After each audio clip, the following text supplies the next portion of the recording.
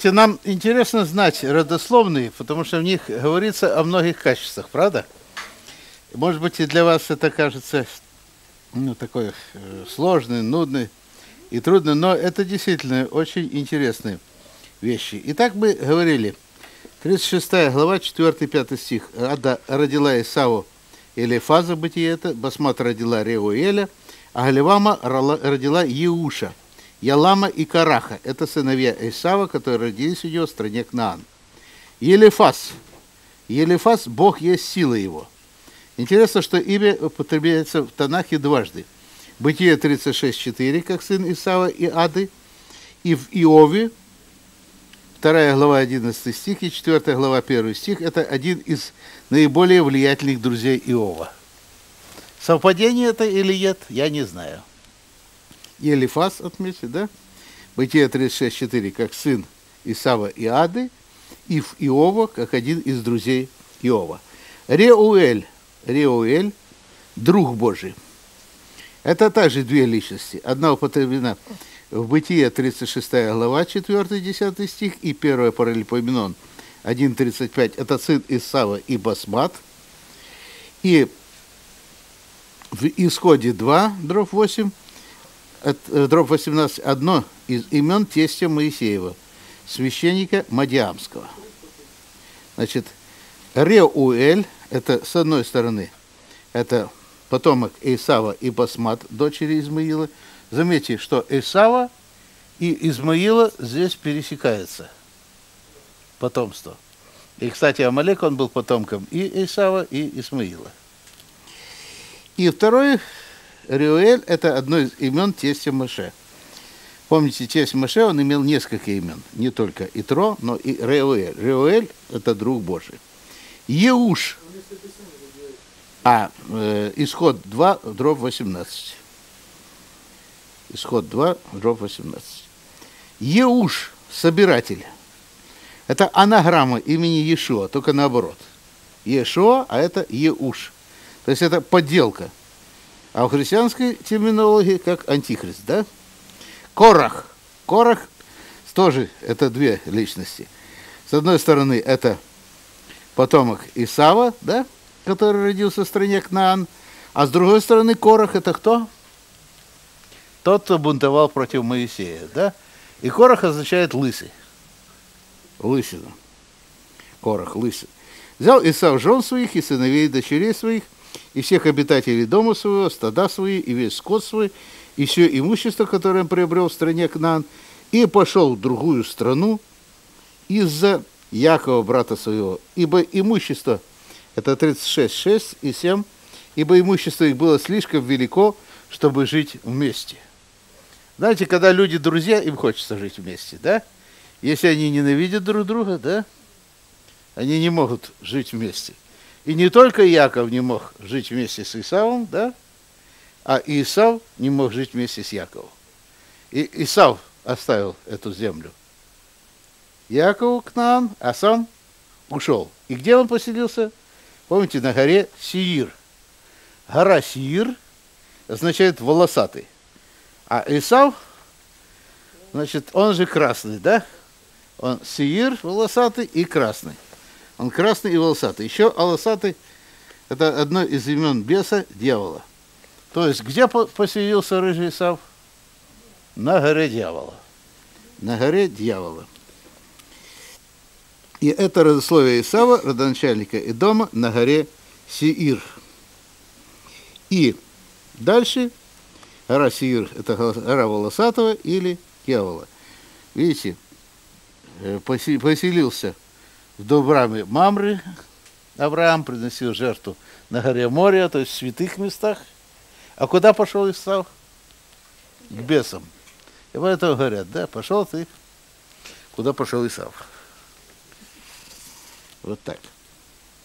36.10. Э, вот имена сыновей Исава, Елифас сын Ады, мы уже говорили, жены Исава, Риуэль сын Басмат, жены Исава, сыновья Елифаза были Тейман, Амар, Сфо, Гатам, Кнас. Итак, Елифаза, сыновья, Тейман, Амар, Сфо, Гатам, Кнас, а Тимна была наложницей Елифаза, сына Исава, и родила она Елифазу Амалека. Да? И все эти потомки Ады, жены Исава. Вот интересные есть подробности, комментарии этого.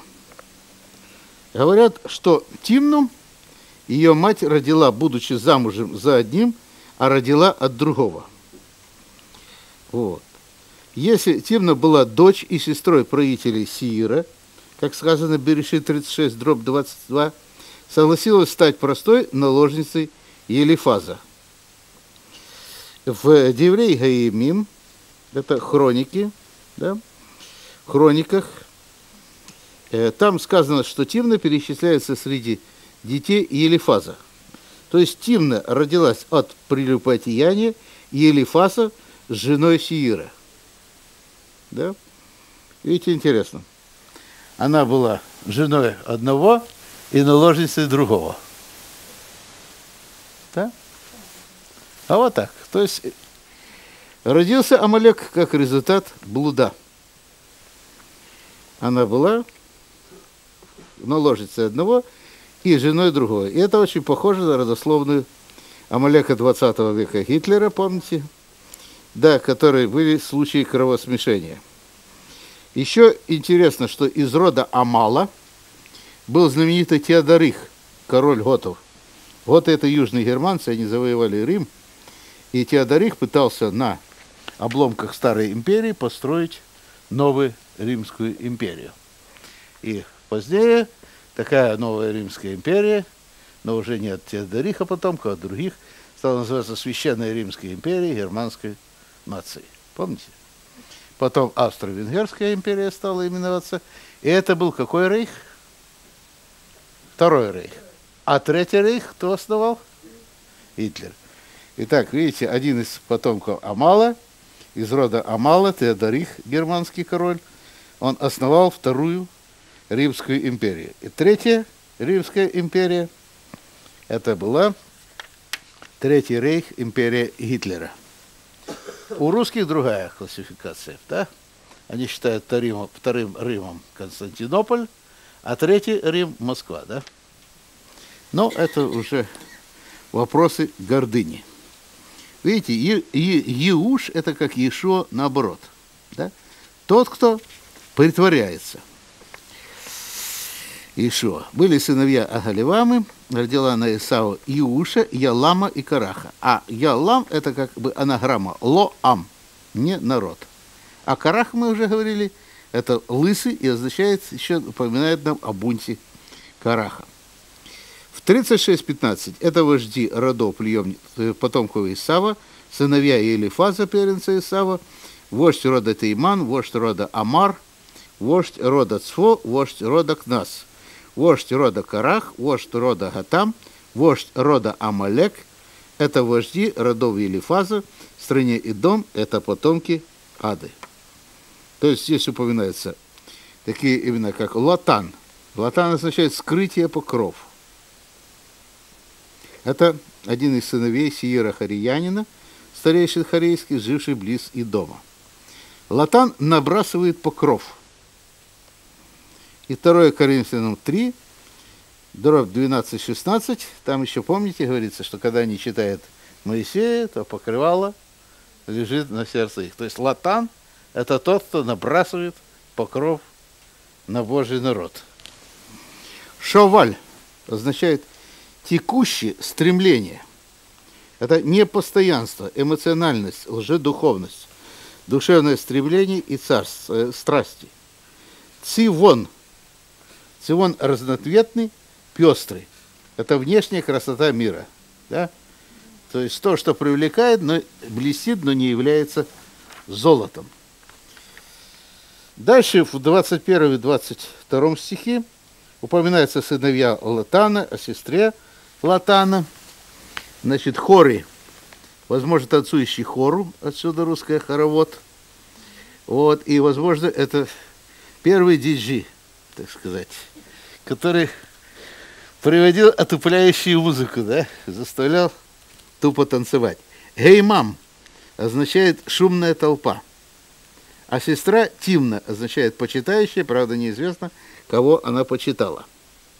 36 дробь 23. Сыновья Шаваля. Альван, Манахат, Альвай, Сфо, Эшфо и Анам. Альван. Альван – это слово лев, да? Лев в сердце – это человек, чья жизнь диктовалась эмоциями и увлечениями сердца его. Манахат – это слово минуха – отдых, покой. То есть для потомка нечестивца Исава это не покой у Господи был, а что? Стремление к легкой жизни. Эйваль похоже на Хевель. Эвель. Помните, Эвель Хевелим – это суета, сует. Шфо – голое место, степь. Онам – сильный. То есть сила есть, ума не надо, мальчик говорит, да? То есть вроде качка такого, терминатора, супермена. Вот такие родословные интересные Амалека. Это качество, правда? Качество, противоположное тому, которое мы имеем в Иешуа Мессии. А сыновья Цивона 36-24, Ая, Анна, это тот самый Анна, который вывел мулу в пустыне, когда пас ослов Цивона, отца своего. Ая – хищная птица. Анна – ответ. Видите, он был первый селекционер. Да, отец ему дал ослов, а он вывел мулов. Сам придумал. До этого еще никто не додумался. Так было положено начало генной инженерии. Здесь я из э, Торы. Э, а как там у вас?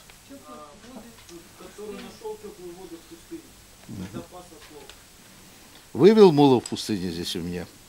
Видите, это более дословный перевод.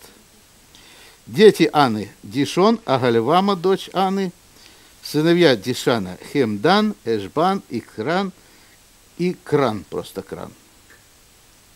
Кран. А сыновья Эцера – Бельган, Зааван и Акан – это 36, 25, 26, 27 стих. Дишон – серная горная коза. Ну, по-нашему, это звали мальчика козел, да? Вот, назвали вы так своего сына. Хемдан – приятный, любезный. Хемда, помните? Любезность бывает от воспитания, но легко переходит в подхалимство и лицемерие. И тран – остаток, избыток.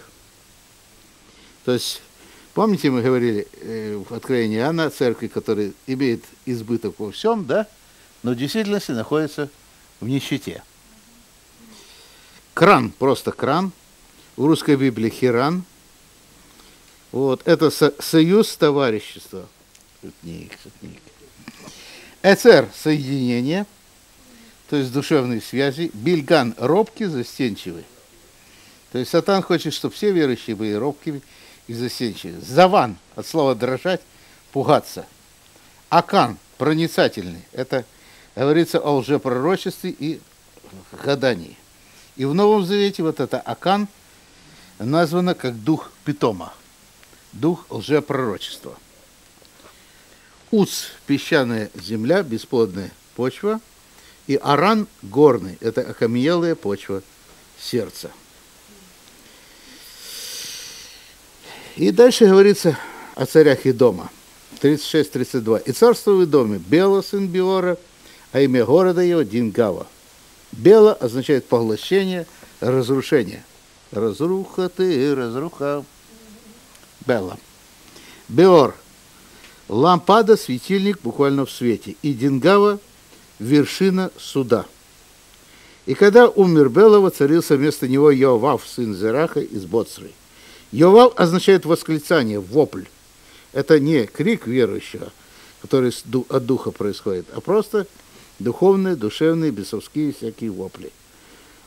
Зарах. От слова заря, появление света. И помните, Сатан будет появляться как кто? Как Люцифер, светлоносец, да? Как ангел света. И Боцра – это речная долина в пустыне Нигев – Пецер означает Бецер, царь узость, да, пребывать в узости, испытаниях, неприятностей. И умер Явав, 34 стих, и воцарился вместо него Хушам из страны Тейман. Хушам означает скорый. То есть сатан заставляет нас спешить принимать необдуманные решения. И умер Хушам, и воцарился вместо него Гадат, сын Бдада, поразивший Видьян на земле Маава. Имя же города его Авид. Гадат означает страшный, сильный, адгад тоже. Дад – отделение, то есть это дух разделения. Если гадат страшный, это наши страхи, да, то дат – это дух разделения, который стремится действовать в церквях. И умер Гадат, и воцарился вместо него Самла из Масреки, и умер Самла, и воцарился вместо него Шауль из Реховота на реке Ефрат. Самла – это от Симла, одежда. Да, по одежке встречает. И мы стремимся иметь хорошую одежду, и это хорошо. Но когда то, что на нас, больше того, что в нас, правда, это уже плохо. А Шауль, видите, впервые употребляется среди царей, которые царствовали на Сиире, да, среди родственников Амалека, Шауль. И, как ни странно, первый царь еврейский тоже носит это имя. Шауль означает выпрошенный, вымоленный. Помните, мы говорили, что Гитлер тоже был выпрошенный у своей, э, своей матери у Бога. От слова «шала» – просьба, прошение. Иногда переводится как молитва. И вы знаете, если наши молитвы содержат только просьбы к Господу, но в них нет хвалы и прославления, то рождается Шауль. Имя Шауль впервые встречается среди потомков Исава.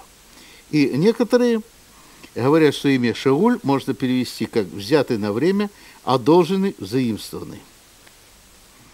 Потому что в переводе с иврита э, первое царств 1.28 может такой перевод написано, поэтому я одалживаю его Господу на все дни жизни его.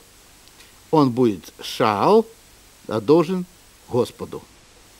То есть первый израильский царь Шауль, он был красивым лицом, но это был постоянный человек, человек, одолженный Господом на определенное время.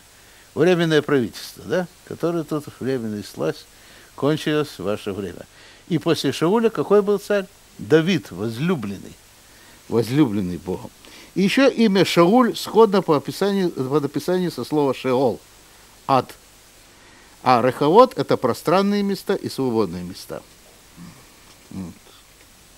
То есть вот такие интересные вещи. И 36-38 стих. «Умер Шауль, воцарился вместо него Бааль-Ханан, сын Ахбора». Бааль-Ханан – хозяин милостив, а Ахбор – это мышь. Так что не говорите Аллах Ахбар, не говорите мусульманам Аллах Ахбар, Ахбор. Да? Аллах мышь получится. Ахбор. Ахбор мышь. Вот такие были родственники Амалека. И такие черты характера, которые дьявол хочет стремиться сделать в наших сердцах, да? В наших церквях, в наших общинах. Итак, мы делаем вывод. Амалек – это дитя блуда физического и духовного. И в его родословной мы видим немало блудодеев. Он дитя похоти и рождает похоть. Он враг Бога по самому своему происхождению, по самой своей природе. И Амалек бывает духовный и физический, да? Видите, Исход, 17 глава, «И пришел Амалек и стал воевать с Израилем в Рефидиме». И Рефидим переводится Рефи Ядим, ослабляющие руки. Знаете, говорят, руки опустились. И у кого руки опускались? У Маше. Даже у Маше и то руки опускались. И у нас тоже могут руки опуститься, когда мы встречаемся с Амалеком, правда? Вот. И это все для нас прообразы. И для нас прообразы. Поэтому, чтобы не опускались руки, нам нужны те, которые будут помогать, поддерживать нас, нести нас молитву и помогать в других наших делах. И Амалек наносит удар, так как они носили удар Израилю, когда те устали, утомились в пустыне. Амалек просто ждет, когда мы устанем, когда мы утомимся – когда усомнимся, есть ли Бог среди нас. И тогда нам особенно нужны те люди, которые будут поддерживать наши руки. Человек, не рожденный свыше, не имеет надежной защиты от Амалека. Самая надежная защита – это активная духовная жизнь в теле Мессии. Делаем вывод, да? Человек, не рожденный свыше, не имеет надежной защиты от Амалека. И самая надежная защита от Амалека – активная духовная жизнь в теле Мессии. И мы не должны стесняться просить помощи друг у друга. Я еще раз говорю, крутой верующий – это нонсенс, да? Это то, чего не должно быть. Верующий должен быть овцой. Но не будьте одинокой овцой, правда? Вот. И еще Мидраше сказал, он охладил тебя. Потому что он карах, он охладил народ Израиля. В Мидраше сказано, Исав сказал Амаляку, я много раз пытался убить Якова, но мне это не удалось. Постарайся отомстить за меня – Амалек спросил, а как я могу одолеть его? А Исав ответил, я дам тебе совет, который ты должен всегда помнить. Если ты увидишь, что Израиль совершил ошибку и попал в трудное положение, напади на него в этот момент. Да? Встретил, он встретил карах. И также можно перевести от слова кар, холод, то есть он встретил и охладил Израиля. Второзаконие 20 5 глава, 18 стих говорится, «А ты был изнурен и утомлен, и не побоялся он всесильного». Вот поэтому есть приказ, да, уничтожить Амалека.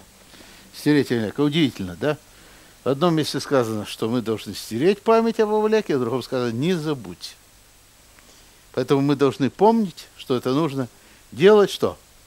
Постоянно. Было бы очень легко один раз стереть Амалека и забыть о нем. Но мы должны помнить и должны так же, как распинать себя, так и стирать Амалека со своего пути постоянно. Амалек хочет украсть у нас шалом, мир, покой, пребывание с Господом. Он хочет украсть нам наше духовное э, совершенство. Да? Вот поэтому в Дворим, 25 главе Второзаконие сказано – что сотри память об Амалеке, да? Сотри память об Амалеке. В 25 главе Дворим, Второзаконие. И поэтому читается Парашат Захор в субботу, да, который предшествует Пуриму. Потому что еще один из потомков Амаляка, это кто был? Знаменитый всем Аман, да? Знаменитый всем Аман. И помните, я уже говорил, опять-таки, с 20 веком перекликается. Амана и его 10 сыновей повесили на дереве, да? Должны были казнить 11 преступников. Гиммлер, да, Гиммлер покончил жизнь самоубийством, а 10 повесили, да. Вот, нет. Жена есть жена. Это не те времена, когда вы жены изменники Родины, да? Вот. Но 10 человек повесили, и это было как раз что Пурин. И один из них, Штрайхер, воскликнул, это Пурин Шпиль. Но под виселицей Штрайхера стояла табличка с его настоящим фамилией. Да, Гольдберг. Гольдберг. Хорошо. Еще мы о Шауле и Давиде немножко поговорим. Шауль был, да, царь, и Давид был царь. Вы знаете, что оба были крещены Духом Святым. Оба получили дар пророчества, да? Но Шауль получил дар пророчества на короткое время, да? А Давид был постоянно пророком Божьим, писал псалмы. И хотя были большие трудности у Давида и всякие проблемы, он всегда искал Господа. Шауль, однажды запнувшись, так и остался. И даже после этого он еще, помните, скатился к оккультизму. Мог бы Бог простить Шауля? Мог бы. Я думаю, что вроде бы он такой меньше даже грех совершил, чем Давид. Мы будем говорить еще о Давиде, у него было еще, кроме этого греха, много грехов. И Бог их всех простил, потому что Давид искал Господа. Но Шауль, когда получил сообщение, что Бог тебя отверг. Он сказал, если Бог меня не любит, ладно, обойдусь без Бога. И вся его последующая жизнь была без Бога, да? Это вот чем-то похоже история с Петром и Иудой. Петр отрекся от Бога, да? Иуда тоже совершил предательство. И мог бы Иуда покаяться и, да, мог бы, да? Вот. Но он повесился, потом в другом месте написано, что он упал и рассеялись внутренности его, возможно, он сорвался со скалы, когда вешался, есть такой вариант. Другой вариант, что сделал себе харакири, кто знает. Вот так и с Саулем случилось. Он покончил жизнь самоубийством, да, в одном месте указано, в другом месте указано, что ему помогли покончить жизнь самоубийством. Вот такая история, да. История Давида, история Шауля, история Петра, история Иуды. И когда выбирал Самуил, да, царя, то Бог сказал, пошли, да, и к Саулю. Вот. И Сауль, что, Шауль, он был какой? Красивый. Внешне, да, красивый, высокий и сильный. А Давид кто был? Маленький, невзрачный, да? Даже некоторые говорят, что он не был э, законным сыном. Потому что э, Давид сам говорит, да, во грехе родила меня мать моя. То есть э, в то время, кроме жен, были еще разного рода наложницы, да. Если бы Давид был в результате законного брака, не было такого понятия, да, что брак это плохо. Да, супружество это плохо. Э, Израиль такого понятия нет. Значит, он был где-то от какой-то наложницы. И когда приводили всех сыновей, вот такое, такое, нет, не то, нет, не то, нет, не то. Ну, может, я хоть еще один. Ну, где-то там вот. Тем все, видите, в доме сидели и ждали. Вот сейчас придут одного из нас помазывать. Да? А этот, ну, где-то там пасет скот. Ну, давайте позовем его.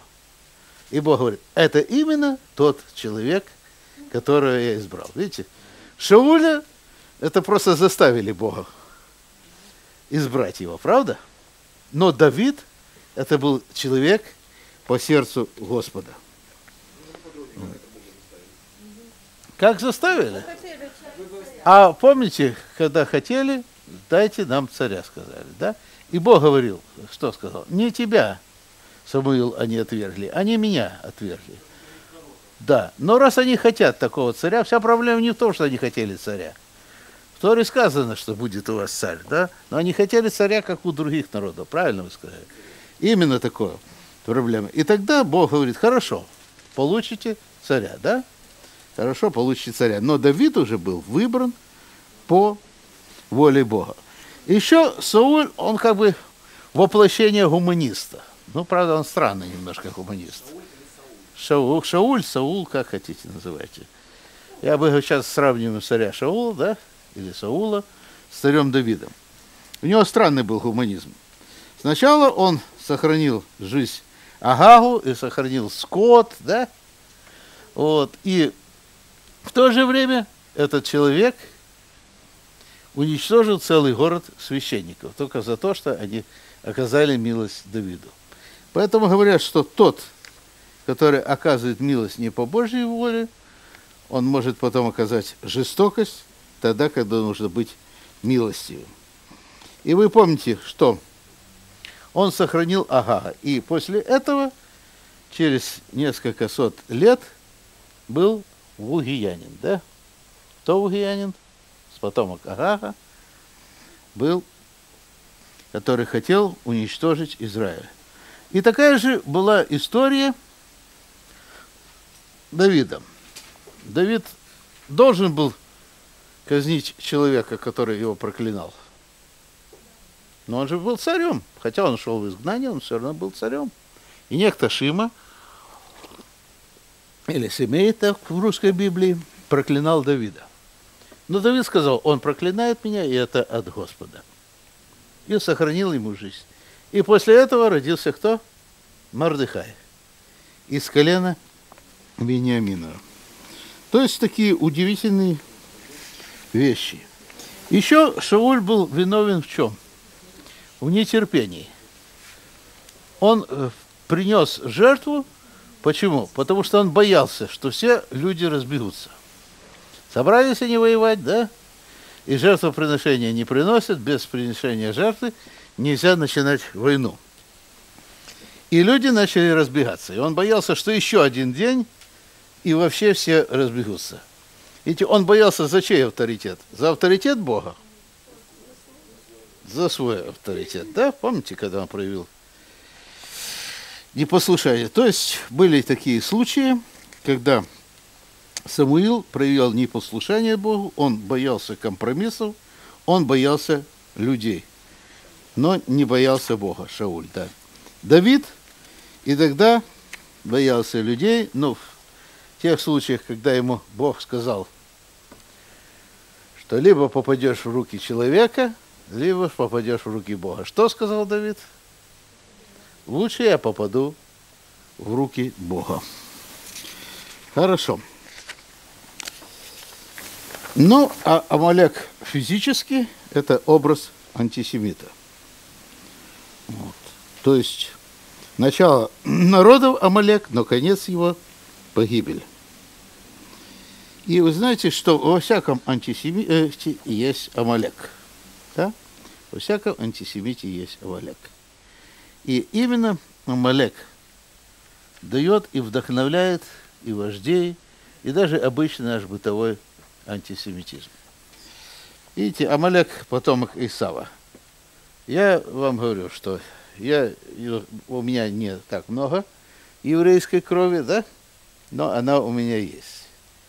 И вот во мне в детстве тоже был Исав и был Иаков. И они боролись, да? Я вам говорю, что у меня тоже были некоторые черты, и до сих пор у меня есть некоторые комплексы – и, может быть, я бы мог и стать даже таким, как Гитлер, если бы победил кто? Исав. Но я благодарю Господа, что победил во мне Яков. И поэтому каждым из нас, да, есть и Амалек, Исав, вот, и есть Божий посланник Яков. И мы должны знать, на чьей стороне мы будем стоять. Хорошо. Мы успеем сегодня про Егошева Бен поговорить? А? Десять минут. Хорошо, ну мы тогда начнем, а потом продолжим. Следующая личность, которая тоже была похожа да, на личность Мессии, вождя, царя и пророка, это Егоша Бен Вы знаете, что в еврейской традиции книга Иисуса Навина или Егоша Бен Нуна – относятся к каким? Пророкам. Да? У нас это было бы как историческое описание. Но в Библии это настолько важная книга. И было после смерти Маше, слуги Господа. Сказал Господь Егоша, сыну Нуна. Маше, слуга мой, умер. Встань же теперь, перейди через Иордан, ты и весь народ этот, в землю, которую я даю сынам Израиля. Всякое место, на которое ступит нога ваша, отдаю я вам как сказал я Маше, от пустыни Ливана до реки Великой, реки Ефрат, всю землю Хитеев и до Великого Западного моря, вот они, границы ваши. Не устоит никто перед тобой во всей жизни твоей. Как я был с Маше, так буду и с тобой. Не отступлюсь от тебя и не оставлю тебя. Только будь тверд и мужествен, ибо ты передашь народу во владение землю, которую я поклялся отцам вашим отдать. Только будь тверд и мужествен, беспрестанно, чтобы хранить и соблюдать Тору, который завещал тебя Маше, слуга мой. Не уклоняйся от нее ни вправо, ни влево, дабы преуспеть всюду, куда ты не пойдешь. Да не дойдет эта книга Торы от уст твоих. Размышляй о ней день и ночь, чтобы в точности исполнить все написано в ней. И тогда будет удачлив твой путь, и преуспеешь ты. Повелевая я тебе, будь твердым и мужественным. Не знай страха и трепета, ибо с тобой Господь Бог твой везде, куда ты не пойдешь. Да? Вот это получил такое повеление. Какое ключевое слово? Тверд и мужественный. Хазак в эмец, да? Хазак сильный, да? Это. Значит, Егоша был еще 28 лет после того, как умер Моисей. Егоша уже к этому времени не был молодым человеком. Вы помните, что партия пенсионеров к моменту, когда закончились хождения, да, состояла только из двух человек. Егоша бен Нун и Калеб. И даже Моисей не попал в эту партию пенсионеров. Все остальные оказались моложе 60 лет. Да? Что 20 лет им было, когда перепись населения. Да, и прошло 40 лет. И все, кто были старше 20 лет, умерли. И хотя 28 лет небольшой срок, по сравнению с тем сроком, как прожил Моисей, да, вот, но который после смерти Моисея, но это действительно очень интересное время было. Первое. Егоша – Божий генерал, вождь и царь. Если мы говорим о Моисее только как царе, мы можем назвать Егоша Божьим генералом, да? Мне нравится это выражение, Божьи генералы. Потому что он был тот, который завоевывал. Но если Бог просто дал землю Израиля, почему же он так говорил, что нужно быть твердым и мужественным? Так же, как мы, когда читали книгу Эстер, да? Мало того, что знать Божью волю, мало того, чтобы знать, что Бог победит, нужно завоевывать своими руками, да? Как бы ни комментировали эти слова Царство Божьей силой берется, но это как раз относится к Егоша Беннуну. И вы помните, Егоша Беннун был любимым учеником Моисея. Когда сказано, что Моисей поставил палатку, который общался с Богом, и это было еще до Скини, да, то сказано, что бывало, войдет Моисей, там то-то, то-то делает, а Егоша Беннун даже не выходил из этого шатра. То есть он постоянно был в присутствии Божьем. И перед Егоша были поставлены две основных задачи. Первое – завоевать землю Израиля. И второе – обеспечить изучение Торы, передав ее потомкам. Нигде не пишется, что Егошева давал какие-то новые законы. Да? Но это была задача передачи Торы. Так же, как Авраам и Иаков. Авраам, да, э, Авраам и Исаак. Авраам общался с Богом, он получил устную Тору. Что делал Исаак? Рыл колодцы, да, и поил водой людей. И он передавал дальше Тору, которую получил от Авраама. Так же самое и Егоша передавал Тору. И поэтому говорят, что лицо Маше как лик солнца, а Егоша как лик луны. То есть откровение получил Маше. Но Егоша, пророк, он проводил эти откровения и проводил их в жизнь. И если пророчество Моисея, можно сказать, стратегия, то пророчество Егоша – это что? Тактика, да? То есть Егоша получал определенные пророчества. Помните, когда случилась э, э, неприятность в городе Гай? Да? Получил он пророчество, как выявить этого человека, который виновен. Да? Но это была стратегия. Это была тактика, да? Пророчество Моисея – стратегия, напишите, а пророчество Егоша – это тактика. Еще Егоша – это образец ученика. Ученика и учителя. Егоша бен Нун на иврите сын, бен, бен, и надо было бы писать Егоша бен Нун. Но пишется бин Нун. И древнее предание говорит, что это отчество произносили слитно, бинун.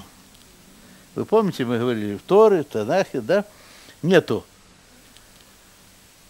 точек всяких, голосовок, нету разниц между тем, как разделяются слова, поэтому в традиции произносится бинун. А в иврите слово бина означает разумение, осмысление. То есть человек, который имел разумение и осмысление Торы. Замечательное это место. 33 глава Исхода с 7 по 11 стих. Мне больше нравится так, как она в переводе Гиля дается. А Маше бывало возьмет шатер и раскинет его для себя вне стана, подальше от стана. И назвал его шатер откровения. И стало обычаем его И стал обычаем, что каждый, искавший милости Бога, шел к шатру откровения, который находился вне стана. То есть Маше бывало, да? Поставить шатер. Это не был, не было скиния. Это был шатер откровения лично с Богом Моисея. У нас тоже каждого должен быть такой шатер откровения, да? Личная комната или какое-то место. И дальше говорится, что было, когда Маше входил, выходил в шатер. И 11 стих. «И будет говорить Бог с Маше лицом к лицу, как человек говорит со своим другом. А потом возвратится Маше в стан, а служитель и ученик его, Егоша Бенун, никогда не выходил из шатра. У вас там, по-моему, не так вот это выразительно, да, отмечено в канонической Библии. Но видите, в оригинале он никогда не выходил из шатра. Он постоянно был в шатрах учения. Он постоянно был в Торе, да. И он назван Мешарет Маше. Мешарет – это что? Прислужник. Прислужник. Прислужник. А еще он назывался Наар. Тора назвала его Наар, юноша.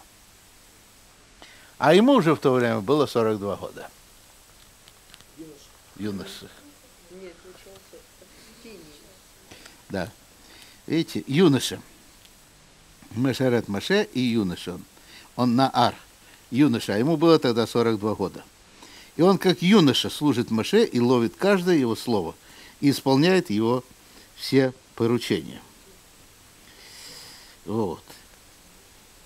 Еще интересно, что возле города Танчиса в Мавритании, Северной Африке, находится надпись «Бежавших из Кнаана финикиян», в котором Егошева назван «поражающим волком». Также Егошева называл в своем письме персидский царь Шаубек, поражающим волком. И вы помните, что это был лучший ученик Маше Рабейна, правда? И когда Маше Рабейна приходит к Богу, возглавляет учебу, возглавляет обучение Израиля Егоша Бенун. И сказал Господь Маше, возьми себе Егоша Бенуна, человека, обладающего духом, и возложи на него руку свою. И поставил перед Элизаром Кагеном и перед всей общиной, и наставляй его перед глазами их. Итак, Егоша был человек, что? Исполненный духом. Это похоже на Новый Завет, да? Когда Бог предложил избрать диакону, и одним из причин -то избрания это люди были, должны быть какие? Исполнены духом. То есть Егоша не просто был учеником, но что? Исполненным духом. И это очень важно. И в этом можно выделить три момента. Во-первых, это 27 э, глава, 18-20 и 22-23 стих исходе. Да? Так возлагал руки и передавал свое помазание Маше на Егоша Беннуна. Итак, три момента. Первое. У Егоша уже есть Божий Дух. Маше передавал на него Дух Божий? Нет. Мы можем получить Дух Божий от кого-то. Мы можем при наложении рук, да, получить э, языки, и так делалось тоже, да? Но мы получаем от кого Бог? От Бога, да? Вот. Во-вторых, значит, во-первых, Егоша уже был Божий Дух. Рога Кодыш. Во-вторых, Маше возложил на Егоша руки свои, и это называется смеха. И кто первым совершил смехум? Маше над Егоша бен Нуном. Это называется смеха. То есть таким образом передается духовное помазание и духовная власть, и даже в наше время. Как среди равенов это пользуется, да, так и в христианской традиции. Возложите руки, значит, посвящение и духовное руководство. И третий момент, что Моше – должен уделить Иероша от своего величия, от величия царя, то есть дать ему полномочия царской власти. И Маше передает ему всю Тору, как бы приказом. Рамбам пишет «цива», что в переводе означает «приказано», обязательно к выполнению и заповедовано. Поэтому, говорится, Маше получил Тору с Синая, передал его Югоша, и дальше передал Югоша последующим поколениям, вплоть до нас. Да, изучать закон Бога, читать Тору, да не отходит эта книга от уст твоих. И это означает не просто читать, читать про себя, но что? Исповедовать Слово Божье, говорить, говорить. И надо быть успешным. А что значит быть успешным? Поступать благоразумно, да? Вот. И надо быть сильным. Надо быть сильным. Хорошо. Егоша Бенун прожил из 28 лет, 7 лет продолжалась война, да, и около 20 лет он прожил по окончании войны. Из них 14 лет после завершения раздела страны. Итак, мы видим его как слугу Господа, вождя, пророка и учителя. В дальнейшем мы поговорим о дальнейшей истории